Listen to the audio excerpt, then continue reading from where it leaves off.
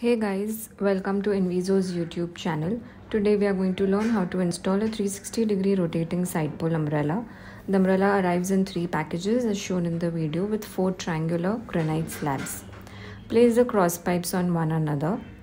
Fix the foot pedal on the cross pipe and screw them together as demonstrated in the video.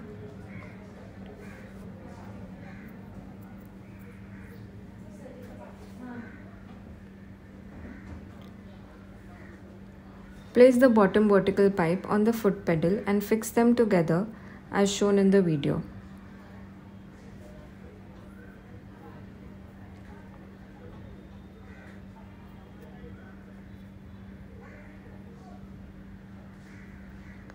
Cover the entire foot pedal with a covering cap.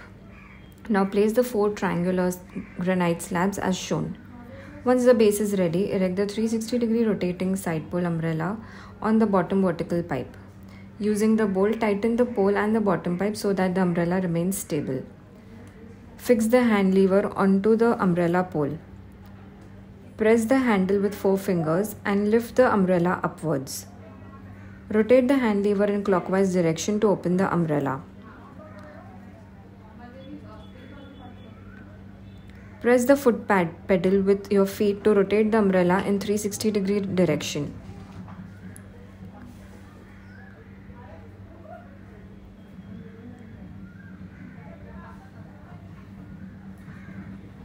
You can tilt the umbrella as per the sun's direction with the help of the handle on the pole. It is also possible to rotate the umbrella as per your choice even after tilting the umbrella. Press the foot pedal and rotate the hand lever in anti-clockwise direction to close the umbrella. The fabric that is used is waterproof and UV proof. Check out the website link in the description box to buy the product. The umbrella is also available in different colors.